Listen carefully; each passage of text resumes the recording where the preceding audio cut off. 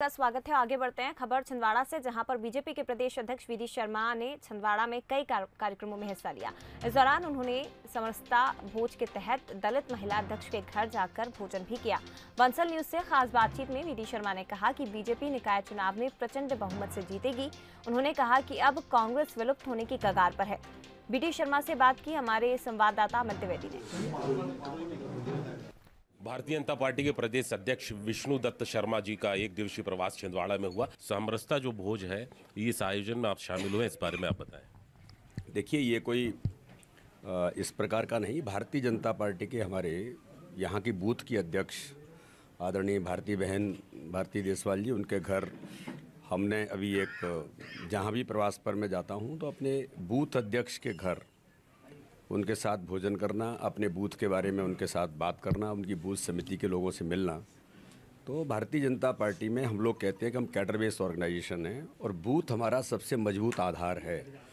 तो संगठनात्मक सुदृढ़ीकरण को लेकर के ये एक प्रयास है। छिंदवाड़ा के अंदर भारतीय बहन के घर में मेरी जो बूथ अध्यक्ष है उसके घर आज मैंने भोजन किया। है इसके लिए मैं अपने आप को बहुत सौभाग्यशाली मानता हूँ। प्रथम नगर आगमन है प्रदेश अध्यक्ष बनने के बाद और कांग्रेस के प्रदेश अध्यक्ष कमलनाथ जी का ये गृह जिला है।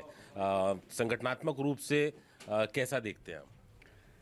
ये जिला तो भारतीय जनता पार्टी का आज से नहीं बहुत कई वर्षों से भाजपा का संगठन यहाँ पर बहुत सशक्त और शक्तिशाली है।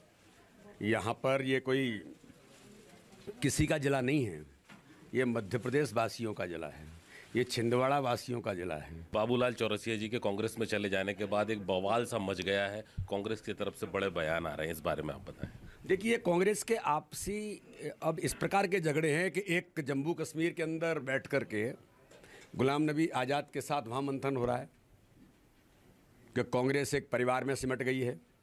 कांग्रेस कोई दल नहीं है, न कोई कांग्रेस विचार है। कांग्रेस एक परिवार के द्वारा चलाया हुआ तथा कथित कुछ लोग हैं जो चलाते हैं। तो ऐसी परिस्थितियाँ देश के अंदर बन रही है, कांग्रेस अपना अस्तित्व खो रही है। माननीय प्रधानमंत्री जी के नेतृत्व में जिस प्रकार से देश आगे बढ़ रहा है, जिस प्रकार से भारत का मान और सम्मान दुनिया के अंदर, आप मुझे बताइए कितना गर्व का विषय है कि 24 देशों को इस महामारी के संकट में वैक्सीन देने का काम भारत के प्रधानमंत्री जी के नेतृत्व में 24 देशों को भारत की सरकार ने किया है। दुनिया के देश अप्रिशिएट कर रहे हैं आगामी नगरीय निकाय चुनाव होने जा रहे हैं। इसको लेके किस तरह से आप देख रहे हैं तैयारियों को लेकर? भारतीय जनता पार्टी कोई भी चुनाव लड़ती है कार्यकर्ताओं के आधार पर लड़ती है। तो चुनाव की तैयारी आज से नहीं बहुत पहले से है। 24 घंटे तीन सौ पैंसठ दिन हमारा कार्यकर्ता काम करता है। तैयारी के साथ रहते हैं तो कोई भी चुनाव आए भाजपा इस चुनाव को भी नगर निकाय के चुनाव को भी प्रचंड बहुमत से जीतेगी। और छिंदवाड़ा को देश का एक नंबर शहर बनाने का काम भारतीय जनता पार्टी के कार्यकर्ता संकल्प लेकर के आगे बढ़ेंगे। अमित द्विवेदी बंसन न्यूज़।